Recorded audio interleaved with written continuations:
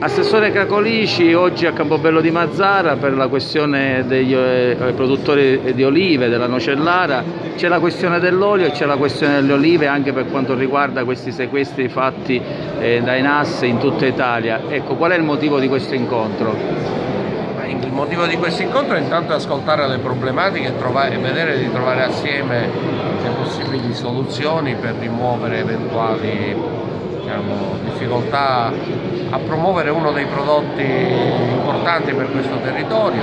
L'oliva da mensa costituisce una, un valore aggiunto eh, straordinario per questa area della, della Sicilia, quindi l'assessorato pone un orecchio attento alle problematiche, vediamo di studiare tutte le soluzioni possibili. Ecco, per quanto riguarda l'olio tunisino si è parlato tanto, ma ormai poco si può fare. Assessore, cosa pensate di fare per valorizzare l'olio siciliano?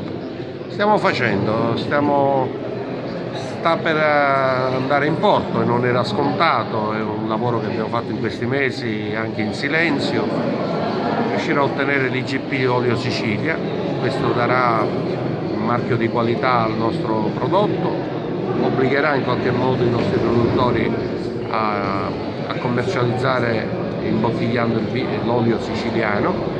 Siamo sicuri che l'olio col marchio Sicilia ha un valore aggiunto nei mercati nazionali e internazionali. Quindi questo, noi la competizione la facciamo sulla qualità e su quel terreno credo che la Sicilia oggi ha solo eh, davanti a sé soltanto occasioni per vincere le, le sfide della competizione se pensiamo di competere sul prodotto ordinario lì avremo maggiore difficoltà.